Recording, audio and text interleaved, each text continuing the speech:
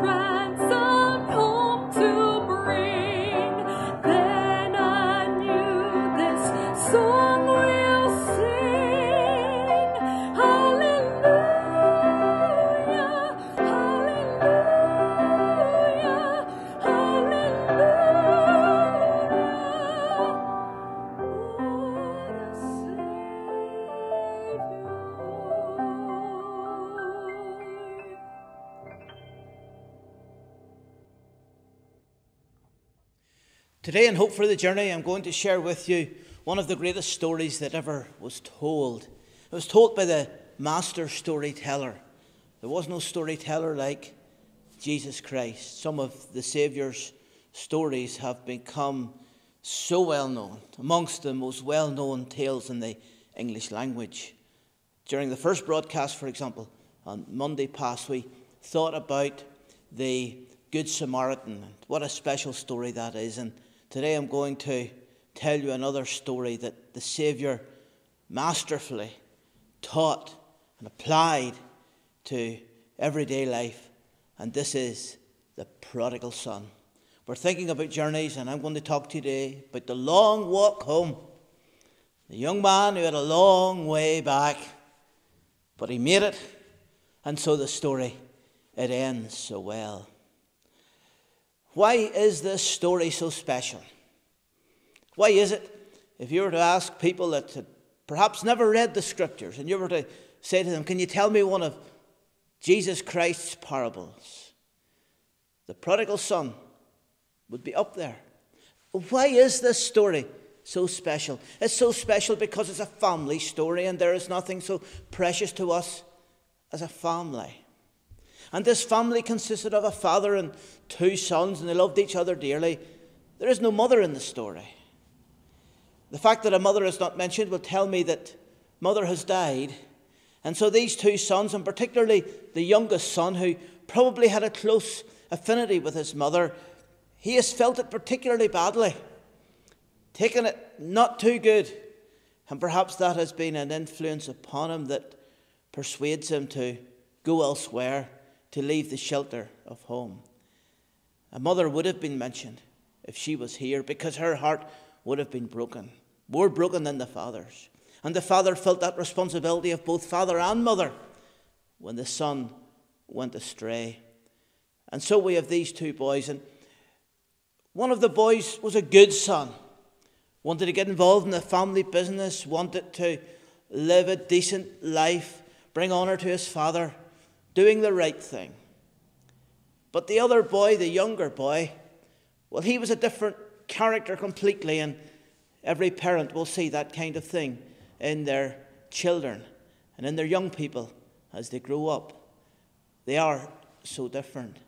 And these two boys, they were totally different. And, and this younger son, and the story really focuses upon him. He had itchy feet. He wanted to get away to another country. He wanted to get away from the rural life where he was living with his family. He wanted to get to the city. He wanted to get to the place where there were more people, more young people. A place where there could be wine and women and song. A place where he could enjoy the entertainments of this life. That's what he wanted.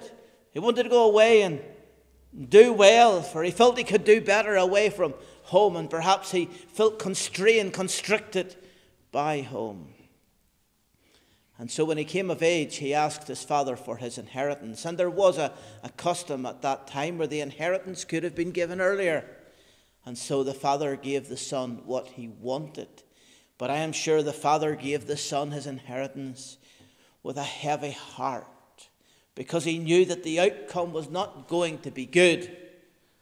And so the son eagerly grabbed whatever the father had given him. The father had worked for this, this son had not worked for it. And he was going to spend it and he was going to squander it. And he was determined he was going to have a good time. He never thought ahead. He never thought of that time when the money would run out. What would he do then? He wasn't worried about that kind of thing. And there are many people like that in life. They never look ahead. They just live for today, live for what's in their pocket today, live for the next pay packet, just to enjoy what they can of it. They don't think ahead, they don't plan, they don't make provision. And this younger son was certainly of that ilk. But there was one thing about him, and the father would have known it. He would have become so acquainted with this boy as he grew up. The father would have become so aware of the fact that here was a young man who was going to have to learn things the hard way. And learn the hard way he did, and so off he went to the far country, well dressed. Off he went spring in a step. He's going to enjoy life. And off he went. And, and, and he found his fun, and he found his excitement, and he found his pleasure, and he found his friends. And I can see him there at the bar, and he's buying the drinks. And I can see him there with the women, and he's treating them lavishly. And he's popular, and he's a crowd around him. But then the money runs out. Has to get a job. No jobs going, no work going. Because there's a famine in this far country. The far country is facing economic deprivation. But his stomach is now hungry. He has no friends. Oh, the friends were there when he had plenty to offer them, but they weren't going to give him anything when he was in need. And life can be so like that. There are friends who are fair with their friends. They're only with us when things are going well, but whenever things aren't going well, they want nothing to do with us. And these were the kinds of friends that this young man had. They weren't good friends. He was finding out the hard way just how cruel life can be, particularly when you get your priorities all wrong. And so he wasted everything. And the only job he could get was on a farm, looking after pigs. There's nothing really wrong with looking after pigs. We enjoy pork, we eat it, but the Jews didn't take it. To the Jews, it was an unclean animal, so there was nothing worse for him in his culture than to be out living amongst the pigs, feeding them. But he was so hungry, he ate the very pig's food. What a place of humiliation. How far he had plummeted but God had to bring him down into this low place in order to bring him up. But when he's in this low place, he suddenly came to himself. And I love those words from the King James Version. He came to himself. In other words, he wised up. And he started to think. He thought, what am I doing here? Out here amongst these pigs, living in this filth, eating this disgusting food. He thought of home. He thought of his dear mother and he thought of his precious father. And he thought of the comforts of home. He thought of the food that was at home. He thought of the nice warm bed. And he thought, what a fool I am. Look what I have turned my back on. And so he made a decision. I'm going to go home to my father. And I'm going to say to him, Father, I'm not worthy to be called your son. I don't want to be called your son anymore. I don't deserve it. Look what I've done but just make me one of your servants. If I could just be back in your family again, just as a servant, I'd be happy with that. And so he made the decision. And there was something very important about that decision. He realized that he had made a colossal mistake. He realized he had gone the wrong way. He accepted that. And so off he went. And it was a long walk home. I am sure as he trudged home, he was weary. He was footsore. Life had dealt him many a hard blow. How many months had passed, how many years had passed, we do not know. But it was a long walk home. Would my father accept me? Perhaps he'll turn me out. I wouldn't blame him. Perhaps this is a waste of time. It was a long walk home. But back home there was a father, and every day he had watched the road. He had watched for his returning boy. Never a day went past. He didn't offer a prayer to his God. He didn't pray for his son. And every day he watched that road, watching for the wanderer, watching for the prodigal. And so he watched and he watched. And then one day he saw a figure. He knew who it was. Now, as that figure was coming through the community, there would have been people looking and saying, Who's that boy? Who is he? You see, he would have looked so different. His beard would have been long and straggly.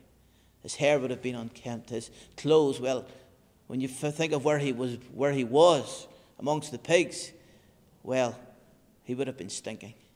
And his clothes would have been dirty and they would have been ragged. No longer was he that bright young man going out with a spring in his step. Now, the steps were slow and ponderous. But the father knew. He knew from a distance who it was, and so he comes running. And there is such an embrace. The father wasn't worried about the foul smelling clothes. His son had returned home. I'm no more worthy to be called your son. The boy cried, and the father said, Nonsense. He brought him home. And he put the ring on his finger. And he put special clothes on him, and he brought shoes for him, and he reclothed him. And, and he called all the servants together in the whole household kill the fatted calf. We're going to have a feast. And he brought all his friends in. My son has come home. He was lost, and now he's found.